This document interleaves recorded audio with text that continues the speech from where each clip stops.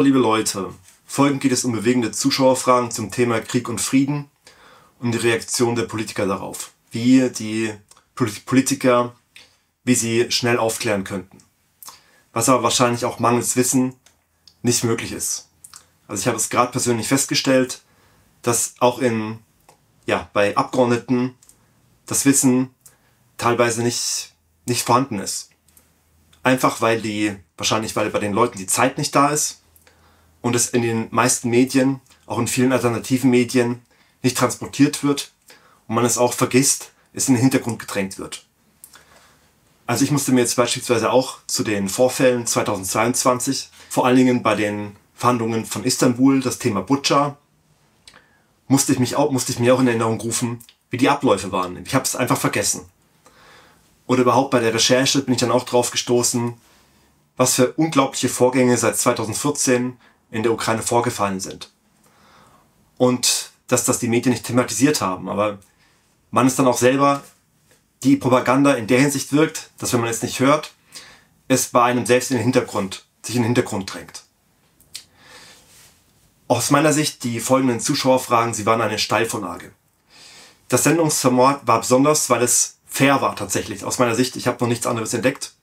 Die Moderatoren haben nicht unterbrochen und bei den Mitdiskutanten waren die Mikrofone abgestellt, wenn jemand anderes geredet hatte. Also es war hier die perfekte Möglichkeit, sehr gute Antworten zu geben. Mein Name ist Annelie Manzel aus Dortmund und ich habe an Sie, Frau Badi, eine Frage bezogen auf Europa und insgesamt bei der SPD scheint das Thema Frieden schaffen ohne Waffen äh, absolut nicht mehr relevant zu sein.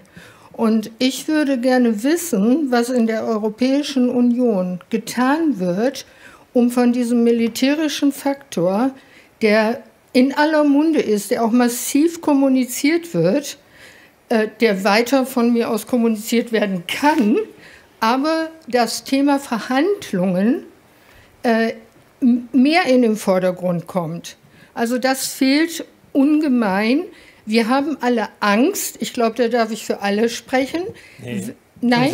Gut, dann, das, lass dann sprechen Sie für sich, aber stellen Sie Ihre Frage, bitte. also, ich äh, spreche vom Thema Angst und hoffe, dass es auf dem Weg der Verhandlungen zu Lösungen kommt. Und ich bitte davon abzusehen, die Plattitüde, die wir immer wieder hören, Herr Putin will nicht verhandeln, äh, nicht uns jetzt als Antwort zu geben, sondern wirklich mal Strategien, Verhandlungsstrategien aufzuzeigen, die es vielleicht doch möglich machen, zu verhandeln.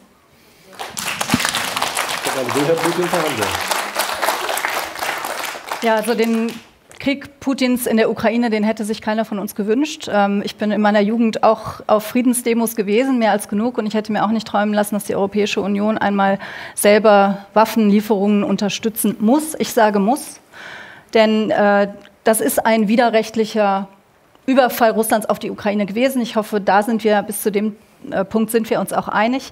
Und die Ukraine hat das Recht, sich zu wehren. Und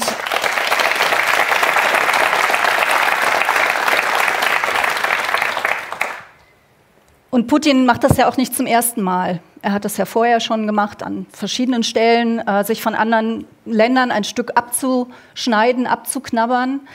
Und ähm, er tut das gegen alle Konventionen, die er auch selber unterschrieben hat. Ich will gerade für die Ukraine das Budapester Memorandum nennen. Die Ukraine hat über Atomwaffen verfügt nach dem Zerfall der Sowjetunion und hat diese Atomwaffen abgegeben im Gegenzug für Sicherheitsgarantien. Und neben anderen Ländern hat auch Russland diese Garantie abgegeben, bitte gebt eure Atomwaffen ab, damit hier nichts Unkalkulierbares passiert. Und dafür garantieren wir euch, auch wir Russland, dass eure Grenzen unverletzlich sind. Das hat er gebrochen. Und wir müssen uns ja auch klar darüber sein, dass Putins Ziel, wenn man ihm zuhört, man muss ihm ja nur zuhören, was er, was er zu Hause erzählt, ja nicht alleine die Ukraine ist, sondern es ist die ganze, also nicht nur das Land, es ist die ukrainische Kultur, die ukrainische Identität. Deswegen hat er ja auch ähm, Museen, Theater und so weiter beschossen. Und am Ende ist es die Demokratie und die Freiheit. Und deswegen bin ich der festen Auffassung, dass es richtig ist, der Ukraine beizustehen, auch indem wir sie militärisch unterstützen. Davon bin ich fest überzeugt. Ich bin der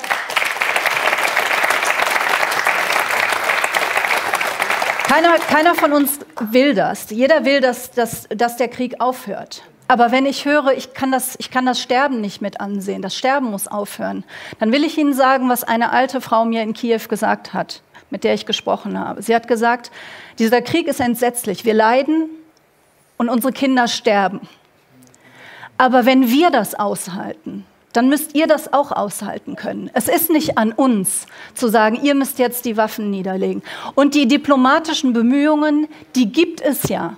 Es gibt doch die Gespräche. Was meinen Sie denn, woher der Gefangenenaustausch in der vergangenen Woche kam? Was meinen Sie denn, woher die Getreideabkommen kommen?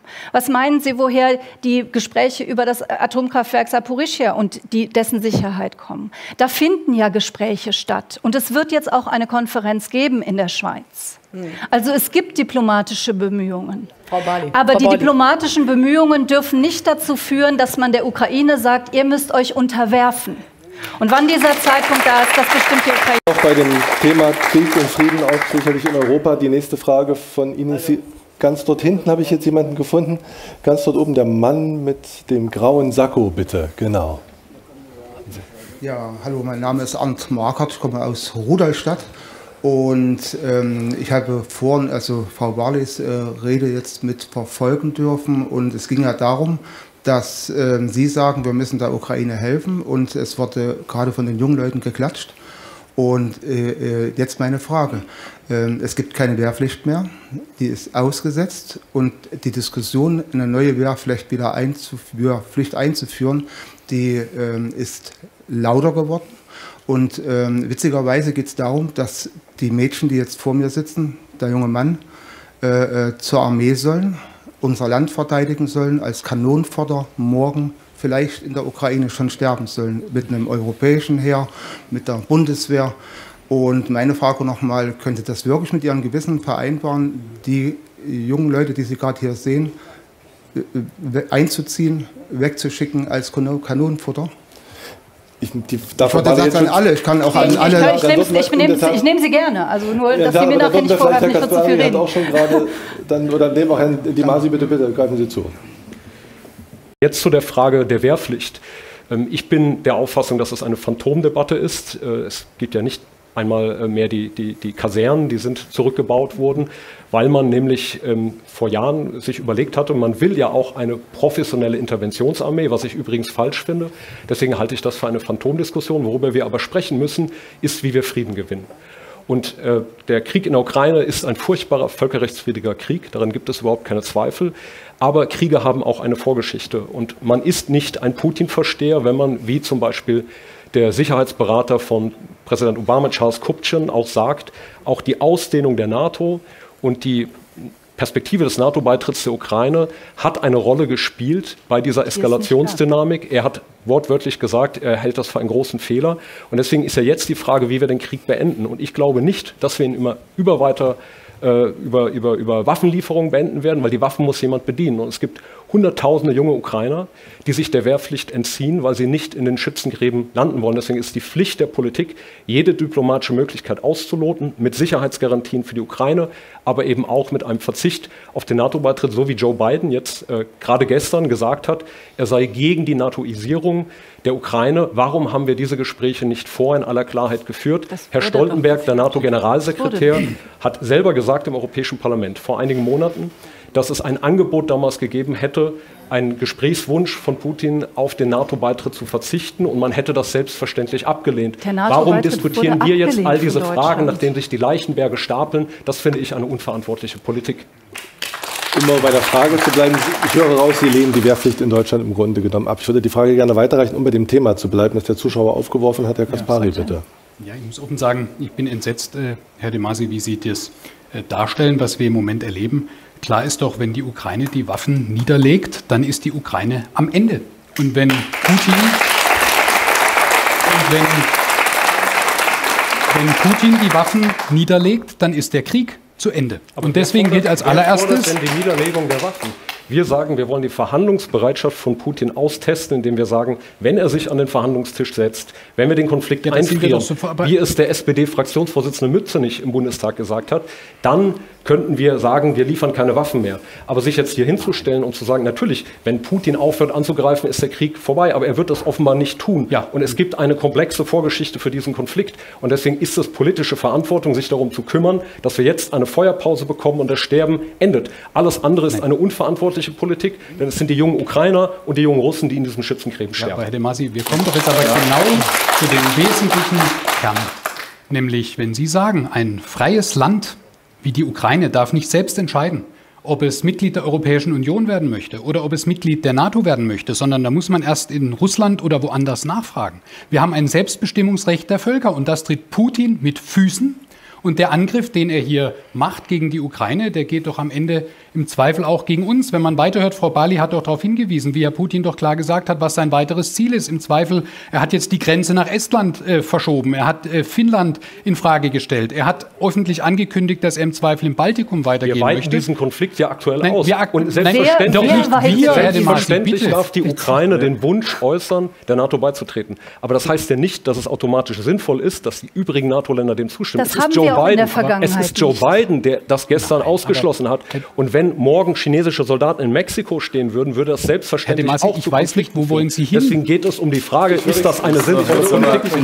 Von China und Mexiko wenn wir am Ende nur hier, aber, aber wenn wir sein Wahl, genau, wenn wir, wenn wir nur das Wahlprogramm anschauen, das Sie schreiben, dann sagen Sie, sind, aber ja, aber er ist doch genau gegen das, was uns in Deutschland im Zweifel absichert, nämlich er sagt doch, er möchte äh, die Ukraine im Zweifel an Russland ausliefern. Er sagt, wir sollen in der das Europäischen Union das, das Thema nicht. Verteidigung nicht gemeinsam machen. So steht es in Ihrem Wahlprogramm. Sie fordern, dass die Amerikaner ihren Atomschutzschirm von uns in dieser Zeit, in der uns Putin mit Atomwaffen droht, abzieht. Und genau deswegen kommen wir jetzt zu Ihrer Frage, es gibt einen Beschluss die mich sehr umtreibt. Des Bundestages Sie mich nukleare Teilhabe von allen Fraktionen im Deutschen Bundestag. Ja, vielleicht, äh, da jetzt alle sich zu dem Thema geäußert haben, würde ich ganz gerne auch noch ja, darauf eingehen. Noch, ich wollte eigentlich noch die Frage beantworten. Eine skurrile, sehr eingeschränkte Diskussion. Ich wollte eigentlich noch die Frage Das ist eine sehr eingeschränkte, skurrile Diskussion, wenn sich nur zwei miteinander austauschen. Wir wollen ja die verschiedenen Positionen auch hören. Das ist ja auch im Interesse des Publikums hier. Wenn ich gerne auf die beiden angesprochenen Konflikte kurz eingehen könnte. Ich stand nach dem fürchterlichen Terroranschlag am 7. Oktober. Ein wichtiges Thema war die Ukraine, wo sowohl AfD als auch BSW aus meiner Sicht immer wieder völlig versagen. Auch wenn es so aussieht, dass sie es scheinbar gut machen. Beide Parteien, also wahrscheinlich kann man René Aust und Fabio De Masi, beiden kann man wahrscheinlich keinen Vorwurf machen, weil das Vorgehen von den Parteispitzen so abgestimmt wurde. Und die Strategie ist immer die, man beschränkt sich auf die NATO-Osterweiterung. Man sagt, die NATO-Osterweiterung war ein Fehler vom Westen. Man sollte also, es hätte eine komplizierte Vorgeschichte gegeben. Das hat Fabio De Masi gesagt. Und man hätte das also verhindern können, indem man verhandelt. Und man soll doch Putins Verhandlungsbereitschaft austesten. Das scheint erstmal eine gute Argumentation zu sein. Und wahrscheinlich, sie denken sich, ein, oder die Parteispitzen denken sich, ein gutes Pferd springt nur so hoch, wie es muss. Also warum wollen wir denn mehr Argumente bringen, wenn das mit der NATO-Osterweiterung völlig ausreicht? Das Problem ist, dass die Leute durch die Medien rund um die Uhr emotionalisiert werden.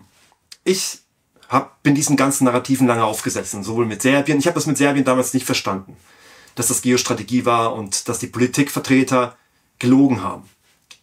So, so wie auch Katharina Barley hier Horrormärchen erzählt über Russland, also einen Eindruck erweckt, Russland, ja, es wäre ein, ein, ein Barbare, es wären Barbaren. Es wären die reinsten Barbaren und uns würden bald Horden überfallen, wenn man denen nicht Einhalt gebietet.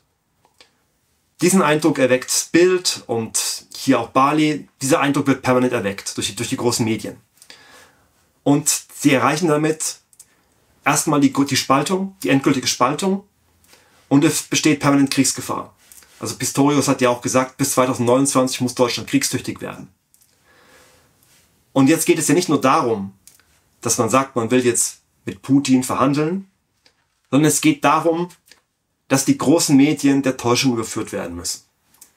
Weil nur das der Weg ist zu dauerhaftem Frieden, zu Wohlstand. Also wenn wir weiterhin in Wohlstand leben wollen, dann brauchen wir die Ressourcen aus Russland. Das heißt, wir brauchen Freundschaft zu Russland.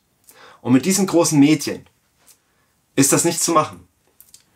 Sie wollen die Feindschaft, oder das heißt, sie wollen jedenfalls die Leute, die hinter diesen Medien stehen, die kartellartig berichten, die kartellartig täuschen, das nachweisbar ist, Sie, sie werden rund um die Uhr die Leute emotionalisieren auf trickreiche Weise, dass, naja, man, man unbedingt sich vor Russland sich abspalten muss und Waffen liefern muss und so weiter und so fort. Was hätte man jetzt also tun können? Man hätte aufklären können, was passiert ist. Man hätte zum ersten aufklären können, dass seit 2014 die Regierungen in der Ukraine narzisstisch und faschistisch sind. Das kann man sagen. Man kann sagen, man kann das mit Quellen belegen. Und jetzt wird ein riesen, riesen Geschrei kommen. Das ist natürlich vollkommen absehbar. Und dem kann man vorbeugen, indem man das offenlegt, dass diese Emotionalisierung, dass diese emotionale Art von der Vorlegung von Strack Zimmermann, dass es Heuchelei ist und dass es nur dazu dient, unterbrechen zu können. Also dass diese gespielte Emotionalität dazu da ist, ihm das Wort abzuschneiden. Das kann man im Vorfeld sagen oder wenn man wieder zu Wort kommt. Am besten gleich im Vorfeld das erklären, dass man jetzt gleich unterbrochen wird und dass die Emotionen gespielt sind. Man muss sich nicht scheuen, den anderen vorzuwerfen, dass sie heucheln. Indem man, man kann das sagen, das macht man, indem man sagt, ich glaube ihnen nicht. Ich glaube ihnen das nicht. Ich glaube nicht, dass sie glauben, dass wir rechtsextrem sind. Und ich glaube auch nicht, dass sie an das Narrativ mit Putin als Aggressor glauben, der uns bombardieren wird. Ich glaube es ihnen nicht, weil es faktisch keine Grundlage hat. Und ich glaube, dass sie auch wissen, dass das faktisch keine Grundlage hat. Und jetzt werden die anderen sagen, oh, das ist ja unglaublich, das ist ja hier, sie sind hier ein Putin-Versteher und, und so weiter und so fort.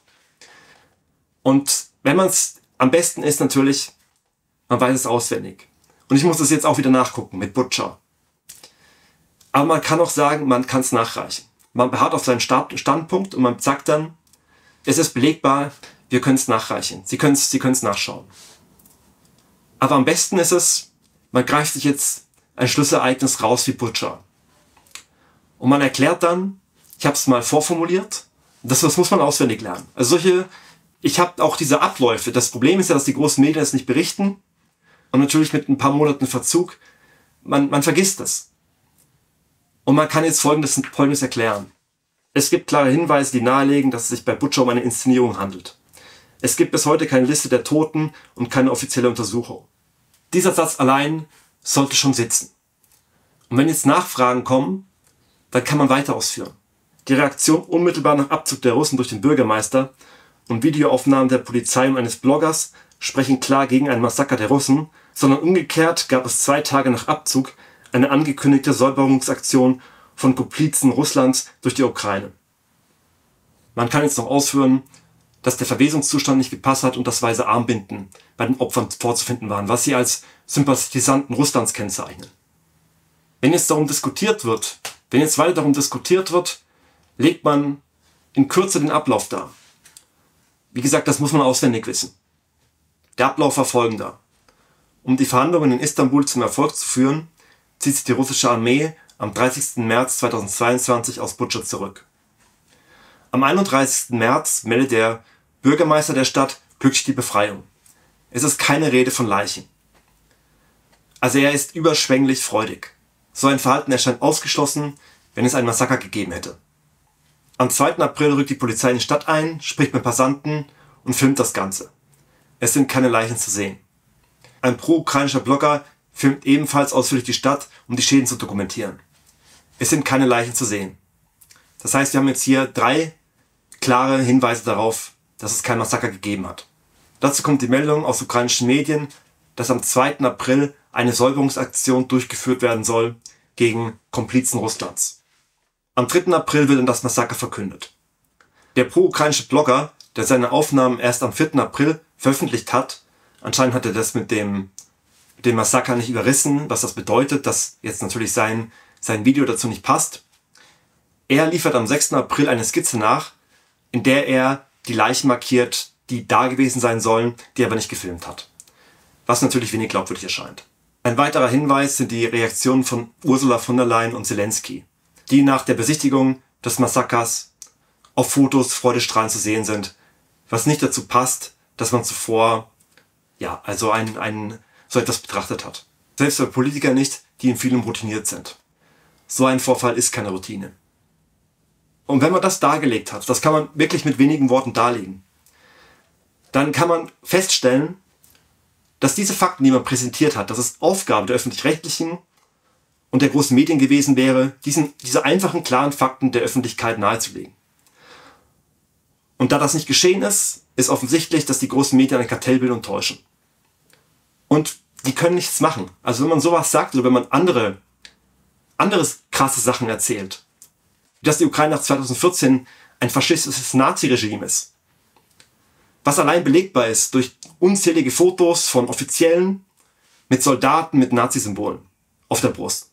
Oder dass Soldaten tätowiert sind oder, oder dass das Azov-Bataillon integriert wurde. Ein Nazi-Regime ist ein Regime, das neonazistische Bestrebungen fördert und sie nicht verhindert. Und das ist bei der Ukraine seit 2014 gegeben. Außerdem kann man klar benennen, dass ein Genozid stattgefunden hat seit 2014, in dem durch Artilleriebeschuss Zivilisten gezielt ermordet wurden. Man erklärt hier auch gezielt, dass es sich um einen Genozid handelt, weil es ein Genozid ist, per Definition. Auch wenn es in Anführungszeichen nur ein paar tausend Leute sind. Und wenn man diese Fakten benennt, das sitzt. Und die großen Medien, sie können nichts machen. Denn die Demokratie hier funktioniert, bis darauf, dass die großen Medien ein Kartell bilden. Aber auch die Justiz in weiten Teilen, es funktioniert alles. Das Problem hierzulande, weshalb die Demokratie nicht funktioniert, es sind allein die großen Medien. Und warum auch immer, seit 2022 oder auch schon vorher, weder die AfD noch BSW, sie kriegen es alle nicht hin, das mal zu sagen. Was, was sehr traurig ist. Die Offiziellen, die, die Parteivorsitzenden, sie haben wirklich eine große Chance oder eine große Verantwortung. Und es liegt an ihnen, wie es in Deutschland und Europa weitergeht. Und so wie sie es jetzt machen, ist es zu wenig. Sie müssten sich viel besser informieren. Wir haben hier mit Thomas Rüpper wirklich ein Engel, der seine ganze Zeit opfert, um diese Informationen zusammenzutragen und leicht zugänglich zu machen. Und das müsste man auch nutzen aus meiner Sicht. Ihr könnt ja schreiben, was ihr denkt, was ich vergessen habe, was euch sonst so einfällt. Macht's gut.